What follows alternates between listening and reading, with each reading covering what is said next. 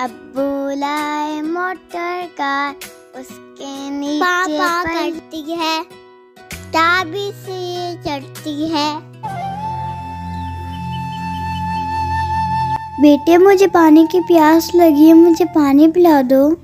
चलो जाओ यहाँ से कितनी अजीब सी हो तुम। हमारा तो बाजू भी नहीं है। निकलो यहाँ से। तुम्हारा मुझे यहाँ पे नज़र ना आना फकीर कहीं की।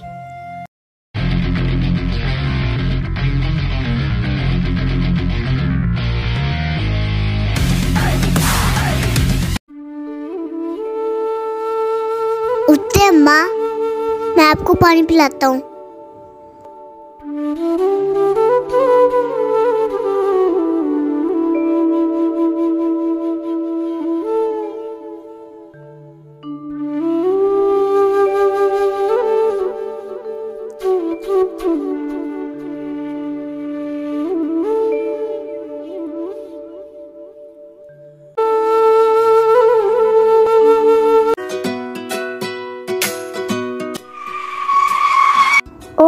क्या हो गया? कितनी मुश्किल से मैंने ब्रेक लगाई है। तूने इस अम्मा को धक्का क्यों दिया। अगर उनको चोट लग जाती तो वो जैसे भी उनको अल्लाह ने लाया है हमें बड़ों की इज़्ज़त करनी चाहिए।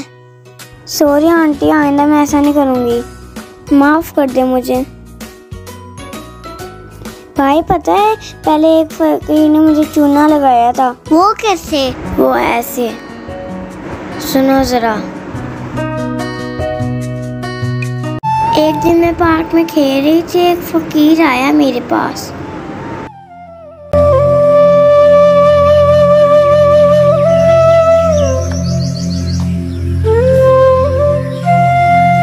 बेटा, अल्लाह के नाम पे कुछ दे दो दो दिन से भूखा कुछ नहीं खाया। अच्छा मैं देखती हूँ पॉकेट में पैसे हैं कि नहीं। कौन सी पॉकेट में रख लिए मैंने? No no no no.